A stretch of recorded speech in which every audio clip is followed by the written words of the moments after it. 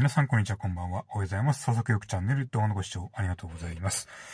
えー、っと、すっかり遅くなってしまったんですけれども、えー、まあもう、えー、新年も一月経ちまして、え、2月に入っちゃってるんですけれども、まあ一応、今年一発目の動画ということで、えー、まあ、今年もですね、えー、創作よくチャンネルの方をよろしくお願いいたします。はい。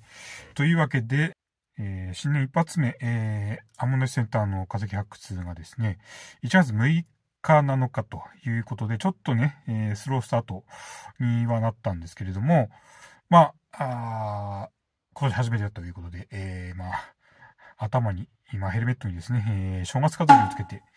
まあ、気合を入れて、えー、発掘に臨んだんですが、えー、その6日7日では、えー、なんかちょっとね、いい感じのものが全然取れなくてですね、まあちょっと、出だしがね、ちょっと、うん、あんまり良くなかったかなと思うんですけれども、まあ、その翌週ですね。はい。こちら、じゃじゃんと。はい。えー、これあの、アモナイトですけれども、はい。えー、これはまだあの、岩にこう埋まってる状態ですね。まだ掘り出してない状態のものの写真なんですけれども、こう、綺麗に巻いているのが見えるかなと思うんですけれども、はい。これをですね、えー、掘り出しまして、で、クリーニングをした結果が、はい、こちらになりますね。はい。はい、わかりますかね。この、おへそのところが綺麗に出てますし、まあ何よりこれね、まあ、あの、いわゆる殻がこう完全に溶けてなくなっちゃってるんですけれども、まあその代わり、このアンモナイトの特徴である縫合線がですね、こう綺麗に見えてますよね。はい。で、このアンモナイトが一体、まあ、どんな種のアンモナイトなのかなということなんですけれども、まあ、掘り出した当初はですね、まあ、あの、メソプゾシアかなという感じかなとは思ったんですけれど、まあ、この殻が溶けちゃってないんで、その表面のこう、6ですね、えー、凹凸がちょっと分かりにくいんですけど、これよく見るとですね、このまあ若干こう、ボコボコボコとなってると思うんですけど、まあ若干こううっすら、6はこう見えてるんですけど、まあそれを見ると、あのー、普段見るアナゴドリセラスの6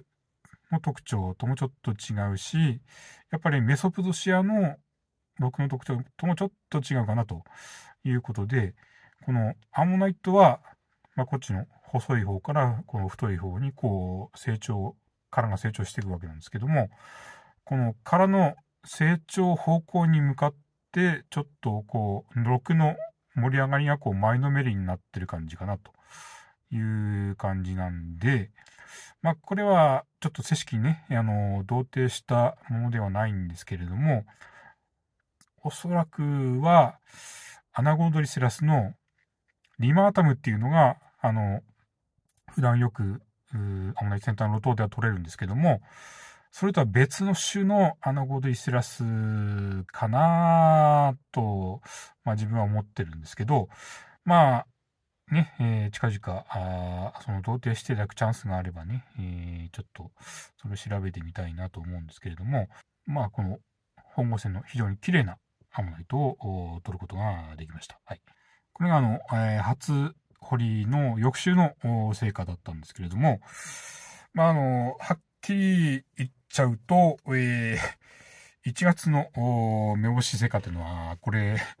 だけになっちゃうんですかね。はい。まあ、あの、一応、サメハとかも、まあ、ぼちぼち出てはいるんですけれども、まあ、あんまりこう、えー、状態が良くない、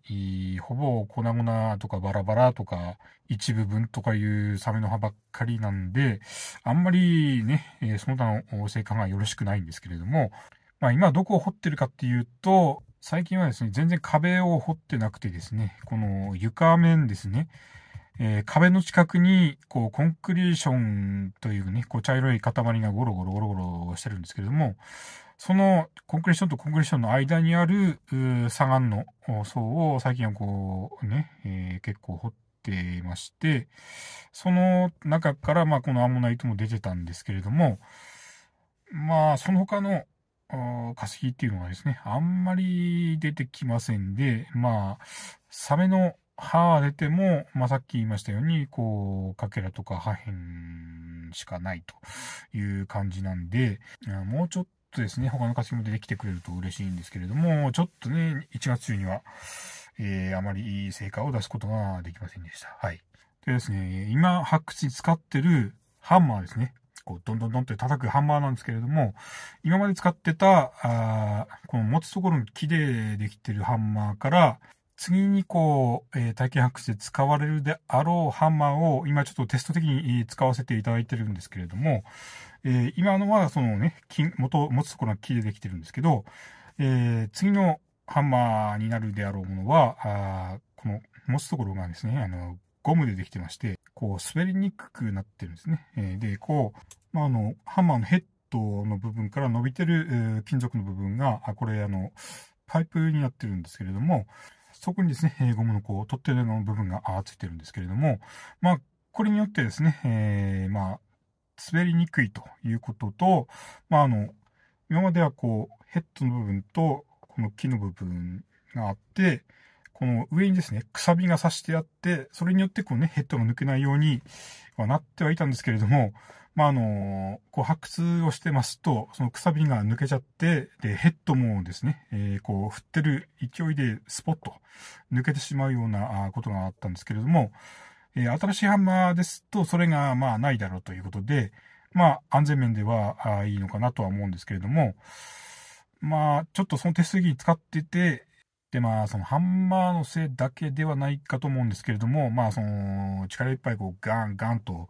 えー、掘ってますと、えー、まあ、この、硬いところなんで、まあ、ちょっとね、この手首であるとか、この肘ですね。ここにちょっと負荷がかかってきて、まあ、最近ですね、ちょっと、この右の肘ですね。ここをちょっと痛めたみたいで、えー、まあ、ちょっと発掘してると、ちょっと肘にこう痛みが走るという感じなんで、まあ、ちょっとですね、えー、発掘、お休みしようかなと思ってて、まあ、あの、今こう撮影してる日は、まあ日曜日なんですが、あ今日はちょっと発掘は休んでいます。はい。で、まあ、センターに行かないときはですね、あの、昨年、えー、ずっとこう、ちびちび、掘ってた、あ広野町で見つけた、あの、天石だったんですけれども、あれが、まあ、だいぶ、こうね、小さくなって、まあ、一応運べるくらいに小さくなったんで、えー、一応、うちに持ってきてありまして、まあ、天気が悪くて、えー、発掘ができない時とかはですね、まあ、その岩をですね、えー、ちびちびまた割っていきたいなと思ってまして、まあ、肘の状態がまあまあ良くなったら、あまた、えー、アマイセンター行ってですね、体験発掘にですね、参加したいなと思います。はい。というわけで、最後まで動画のご視聴ありがとうございました。よろしければグッドボタンを、チャンネル登録もお待ちしております。えー、関連動画再生リストからよろしければ他の動画を見ていってください。それではまた別の動画でお会いしましょう。